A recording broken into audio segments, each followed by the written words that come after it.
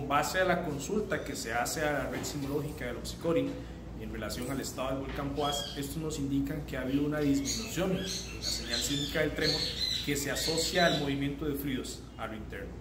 Además, la relación de gases entre hidrotermales y magmáticos muestra un componente mayor de estos hidrotermales,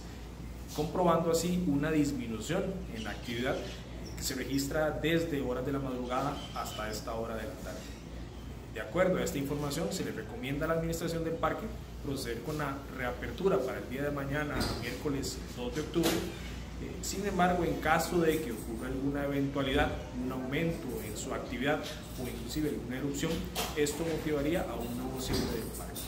pensando en que la seguridad de los turistas y el personal es lo que debe de privar en estas situaciones.